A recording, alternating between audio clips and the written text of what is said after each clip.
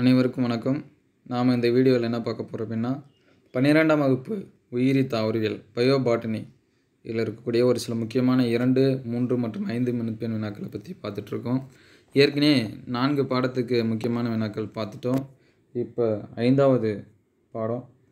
ஐந்தாவது பாடத்தில் பார்த்திங்க அப்படின்னா தாவர திசு வளர்ப்பு. இதில் இரண்டு மதிப்பெண் வினா அவன் சொல்லி பார்க்குறப்ப செல் மிதவை வளர்ப்பு என்றால் என்ன? சைப்ரேட் என்று அழைக்கப்படுவது எது? அப்படின்னு சொல்லி அதுக்கடுத்து ப்ரீகூறு என்றால் என்ன? தாவரங்களில் செய்யப்பட்ட நுண்பெருக்கத்திற்கு எடுத்துக்காட்டு தருக. வைரசற்ற தாவரம் என்றால் என்ன? இதெல்லாம் இரண்டு மதிப்பெண் வினாக்களில் கேட்க வாய்ப்பு இருக்குது அதுக்கடுத்து மூன்று மதிப்பெண் வினாக்கள் அப்படின்னு சொல்லி பார்க்குறப்ப தாவர செல்லில் செல் சுவரை எவ்வாறு நீக்கலாம்? செயற்கை விதைகளின் நன்மைகள் மூன்று எழுதுங்க. இரண்டாம் நிலை வளர்ச்சிதை மாற்ற பொருட்கள் மூன்றினை அவற்றின் பயன்களுடன் கூறுக. தாவர திசு வளர்ப்பு என்றால் என்ன? அதன் வகைகள் யாவை? உடல் நகல்சார் வேறுபாடு என்றால் என்ன? இதெல்லாம் மூன்று மதிப்பெண் வினாக்களுக்கான கேட்குறதுக்கு வாய்ப்பு இருக்குது அதுக்கடுத்து ஐந்து மதிப்பெண் வினா அப்படின்னு சொல்லி பார்க்குறப்ப தாவர திசு வளர்ப்பில் அடிப்படை கொள்கைகள் ஒரு நாலு பாயிண்ட் இருக்கும். அது ஃபுல்லாக டீட்டெயிலாக எழுதுங்க. முழாக்குத்திறன் வேறுபாடு விடுதல் வேறுபாடு திரிதல் மறு வேறுபாடு அடைதல் அந்த மாதிரி இருக்காது. அதுக்கடுத்து தாவர திசு வளர்ப்போட பயன்கள் என்ன? இதெல்லாம் ஐந்து ஐந்து மதிப்பெண் வினாக்களை கேட்க வாய்ப்பு இருக்குது அதுக்கடுத்த பாடம் பார்த்தீங்க அப்படின்னா பாடம் ஆறு சூழ்நிலையில் கோட்பாடுகள். இரண்டு மதிப்பெண் வினா அப்படின்னு சொல்லி பார்க்குறப்ப சூழ்நிலையில் படிநிலைகள் ஸ்டெப் பை ஸ்டெப்பாக அந்த உயிர்கோளம் இந்த மாதிரி இருக்கும் பார்த்தீங்களா? அதெல்லாம் எழுதணும். அதுக்கடுத்து மிர்மிகோ ஃபில்லி அப்படின்னா என்ன? எறும்போட அந்த தொடர்பு இருக்கிறது. புவி வாழிடம் செயல் வாழிடம் வேறுபடுத்துக எல்லாம் என்றால் என்னன்னு சொல்லி கேட்கலாம் அந்த கேள்வி. ஓபிரஸ் ஆர்கிட் தேனீக்களின் மூலம் எவ்வாறு மகரந்த சேர்க்கை நடக்கிறது அப்படிங்கிறது கொஸ்டின் யூரி திருமல் மற்றும் ஸ்டீனோ திருமல் அப்படின்னா என்ன? அது வேறுபடுத்தணும் அந்த கேள்வி. இதெல்லாம் வந்து இரண்டு மதிப்பெண் வினாக்களை கேட்க வாய்ப்பு இருக்குது அதுக்கடுத்து மூன்று மதிப்பெண் வினா அப்படின்னு சொல்லி பார்க்குறப்ப பயோ ரெமிடியேஷன் தாவரங்களால் சீரமைக்கப்படுதல் என்றால் என்ன? வெப்ப அடுக்கமைவு என்றால் என்ன? எப்பிலிமினம் மெட்டாலிமினன் ஹைப்போலிமினன் இப்படி இருக்கும் அந்த கேள்வி. அமன்சாலிசம் என்றால் என்ன? அதுக்கடுத்து ஒருங்குயிரி நிலை மற்றும் நைட்ரஜன் நிலைப்படுத்திகள் என்றால் என்ன அது? வறண்ட நில தாவரத்தின் உள்ளமைப்பு பண்புகள் எதனாச்சும் ஒரு மூணு எழுதணும். அதுக்கடுத்து அரளி இலியோட படம் வரைஞ்சி குறுக்குவெட்டு தோற்றம் பாகம் குறிக்கணும். இதெல்லாம் மூன்று மதிப்பெண் வினாக்களை கேட்கறதுக்கான வாய்ப்பு இருக்குது அதுக்கடுத்து ஐந்து மதிப்பெண் வினா அப்படின்னு சொல்லி பார்க்குறப்ப நீர்வாழ் தாவரத்தின் வகைகள் பல்வேறு வகையான இடைச்செயல். இதெல்லாம் ஐந்து மதிப்பெண் வினாக்களில் கேட்க வாய்ப்பு இருக்குது அதுக்கடுத்து பாடம் ஏழு சூழல் மண்டலம் இதில் இரண்டு மதிப்பெண் வினா அப்படின்னு சொல்லி பார்க்குறப்போ உணவு சங்கிலி என்றால் என்ன? பத்து விழுக்காடு விதி என்றால் என்ன? சூழல் மண்டலம் என்றால் என்ன? உணவு வலை என்றால் என்ன? கீழ்கண்ட தரவுகளை வச்சு நீங்கள் வந்து ஒரு உணவு சங்கிலி இருக்கணும் தாவரம் தவளை பாம்பு வெட்டுக்கிளி இன்னும் கொஸ்டின்ஸில் எக்ஸ்ட்ரா கொடுத்தா கூட கொடுக்கலாம். அதை வச்சு அதுக்கடுத்து சூழல் மண்டலத்திலேருந்து அனைத்து உற்பத்தியாலையும் நீக்கிவிட்டால் என்ன நடக்கும் அப்படிங்கிற கேள்வி. இதெல்லாம் வந்து இரண்டு மதிப்பெண் வினாக்களை கேட்கறதுக்கான வாய்ப்பு இருக்குது அதுக்கடுத்து மூன்று மதிப்பெண் வினா அப்படின்னு சொல்லி பார்க்குறப்ப ஆற்று பிரமிடும் எப்போதும் நேரானது காரணம் கூறு. உணவு வலையின் முக்கியத்துவம். அந்த கேள்வி ஒரு குறிப்பிட்ட சூழல் மண்டலத்தின் பிரமிட் எப்போதும் என்ன மாறுபட்ட வடிவத்தில் இருக்கும் அது ஏன் அப்படிங்கிறத எடுத்துக்காட்டோட விண்ணப்பிக்கணும். அந்த கேள்வி குலச்சூழல் மண்டலம் படம் வரைந்து பாகம் வரை. அந்த கேள்வி நீல கார்பன் சூழல் மண்டலம் என்றால் என்ன? வழிமுறை வளர்ச்சியின் வகை. இதெல்லாம் மூன்று மதிப்பெண் வினாக்களை கேட்கறதுக்கான வாய்ப்பு இருக்குது அதுக்கடுத்து ஐந்து மதிப்பெண் வினா அப்படின்னு சொல்லி பார்க்குறப்ப தாவர வழிமுறை வளர்ச்சியோட முக்கியத்துவம் நீர் தாவர வழிமுறை வளர்ச்சி பற்றி டீட்டெயிலாக எழுதணும். சரிங்களா? அது வந்து என்னது? நீரில் மூழ்கியது நீரில் மூழ்கி வேர் ஊன்றியது இந்த மாதிரிலாம் இருக்கும். ஒரு ஆறு ஏழு இருக்கும். அதெல்லாம் படிச்சிங்க.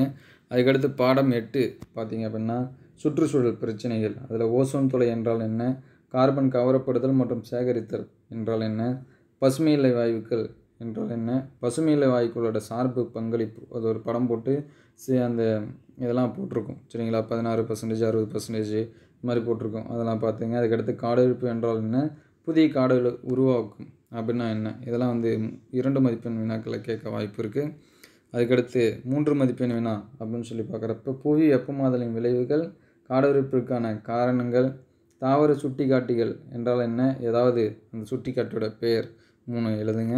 அதுக்கடுத்து உயிர் பன்ம தாக்க மதிப்பீடு அதோட பயன்கள் அது எழுதணும். அதுக்கடுத்து வேளாண் காடு என்றால் என்ன? சில முக்கிய சிற்றினங்களை எழுதணும் சரிங்களா? அதுக்கடுத்து ரிமோட் சென்சிங் தொலை உணரி சிறப்பு பயன்கள். இதெல்லாம் மூன்று மதிப்பெண் வினாக்களை கேட்குறதுக்கு வாய்ப்பு இருக்குது அதுக்கடுத்து ஐந்து மதிப்பெண் வினா அப்படின்னு சொல்லி பார்த்தீங்கன்னா புதிய காடு வளர்ப்பின் நோக்கம் வேளாண் காடுகளின் நன்மைகள். இதெல்லாம் ஐந்து மதிப்பெண் வினாக்களான கேட்கலாம். அதுக்கடுத்து பாடம் ஒன்பது பார்த்தீங்க அப்படின்னா பயிர் பெருக்கம். அதில் இரண்டு மதிப்பெண் வினா கலப்பின வீரியம் என்றால் என்ன? விதைப்பு தழை உரம் என்றால் என்ன? பூச்சிக்கொல்லிகள் என்றால் என்ன? எடுத்துக்காட்டு தருக. இணக்கமாதல் என்றால் என்ன? கெல்ப் அப்படின்னா என்ன? அது தழை உரமாக பயன்படும் முக்கிய தாவரங்களின் பெயர்களை எழுதுக. இதெல்லாம் இரண்டு மதிப்பெண் வினாக்களை கேட்க வாய்ப்பு இருக்குது அதுக்கடுத்து மூன்று மதிப்பெண் வினா அப்படின்னு சொல்லி பார்க்குறப்ப முதல்நிலை இரண்டாம் நிலை அறிமுகத்தில் வேறுபடுத்துக. என்பிடி என்றால் என்ன? அந்த கேள்வி. தற்காலத்தில் நெல் வகைகளில் அசோலா ஒரு தவிர்க்க முடியாத உயிரினம். ஏன்? அயல் பனிமணியம் என்றால் என்ன? தன் பன்மடியம் ஆட்டோப்ளாய்டி அல்லோப்ளாய்டி. அதெல்லாம் பார்த்துங்க. பொய் கலப்பின வீரியம் சூடோ ஹெட்ரோசிஸ் இதெல்லாம் மூன்று மதிப்பெண் வினாக்களை கேட்கறதுக்கு வாய்ப்பு இருக்குது அதுக்கடுத்து ஐந்து மதிப்பெண் வினா அப்படின்னு சொல்லி பார்க்குறப்ப பயிர் பெருக்கத்தின் குறிக்கோள்கள் கலப்பின வீரியம். இதெல்லாம் டீட்டெயிலாக எழுதணும். இதெல்லாம் ஐந்து மதிப்பெண் வினாக்களை கேட்க வாய்ப்பு இருக்குது அதுக்கடுத்து பத்தாவது லெசன் பொருளாதார பயனுள்ள தாவரங்களும் தொழில்முனைவு தாவரங்களும். இதில் பார்த்தீங்க அப்படின்னா அந்த மெடிசன் பிளான்ஸ் ஒரு நாலஞ்சு இருக்கும். சரிங்களா? மஞ்சள் கீழாநெல்லி அதுக்கடுத்து கஞ்சா செடி இதெல்லாம் வந்து இருக்கும். அதோட செயலாக்க மூலம் மருந்து அதெல்லாம் படிச்சிங்க. அதெல்லாம் ஒரு மதிப்பெண் வினா இரண்டு மதிப்பெண் வினாலாம் கண்டிப்பாக கேட்பாங்க. அதுக்கடுத்து மூன்று உடல் நீர்மங்களின் பெயர்களை தருக. டிஹெச்சி பற்றி குறிப்பு எழுதுக. கரசப்புகளின் அரசன் யார்? அதன் முக்கியத்துவம். இது வந்து இரண்டு மதிப்பெண் வினா அதுக்கடுத்து கீழாநெல்லி தாவரத்தின் செயலாக்கம் மூலம் மருந்து அதோட முக்கியத்துவம். அதுக்கடுத்து பிரண்டை வில்வம் இதோட தாவில் பேர் குடும்பம் அதுக்கடுத்து இந்த மருத்துவ முக்கியத்துவம். இதெல்லாம் படிச்சிங்க. அந்த டேபிள் போட்டுருப்பாங்க. அந்த டேபிள் இருக்கிறதெல்லாம் என்ன பண்ணீங்க? படிச்சிங்க. அதுக்கடுத்து மூன்று மண் பெண் வினா பார்க்குறப்ப உயிரி மருந்து தாவர மருந்து வேறுபடுத்துக. ஓபிஎம் பாப்பியின் மருத்துவ குணம். அது தொழில் முனைவோர் என்பவர் யார்? தொழில் முனைவு அறிவியலை மாணவர்கள் ஏன் கற்க வேண்டும்? அது அதுக்கடுத்து புலனுறவு மாற்றம் மருந்துகள் என்றால் என்ன? அந்த கேள்வி மார்பின் எதுலேருந்து எடுக்கிறாங்க? அதோட மருத்துவ முக்கியத்துவம். இதெல்லாம் வந்து மூன்று மதிப்பெண் வினாக்களாக கேட்க வாய்ப்பு இருக்குது அதுக்கடுத்து ஐந்து மதிப்பெண் வினா அப்படின்னு சொல்லி பார்த்தீங்க அப்படின்னா உயிர் பூச்சி விரட்டி எவ்வாறு தயாரிப்பாய்? உன் வீட்டு தோட்டத்திற்கான இயற்கை பூச்சிக்கொல்லியை வீட்டில் உள்ள காய்கறிகளை பயன்படுத்தி எவ்வாறு தயாரிப்பாய்? இதெல்லாம் ஐந்து மதிப்பெண் வினாக்களை கேட்க வாய்ப்பு இருக்குது மொத்தம் பத்து லெசனுக்கான முக்கியமான வினாக்கள் எல்லாமே பார்த்துட்டோம். இனிமேலும் வீடியோக்களில் அதுக்கான டீட்டெயில்டு நோட்ஸாக நம்ம பார்ப்போம். இந்த வீடியோ உங்களுக்கு பயனுள்ளதாக இருந்துச்சு அப்படின்னா உங்கள் நண்பர்களுக்கு ஷேர் பண்ணுங்கள் நான் போகிற வீடியோ தொடர்ந்து உங்களுக்கு வரணும் அப்படின்னா அந்த சேனல் நீங்கள் சப்ஸ்கிரைப் பண்ணுங்கள் இன்னொரு வீடியோக்கள் அடுத்தடுத்து ஒரு மதிப்பெண் வினாக்கள் அதுக்கடுத்து இரண்டு மூன்று ஐந்து மதிப்பெண். முக்கியமான வினாக்கள் டீட்டெயில்டு நோட்ஸாக நாம் பார்ப்போம். தேங்க்யூ ஃபார் வாட்சிங்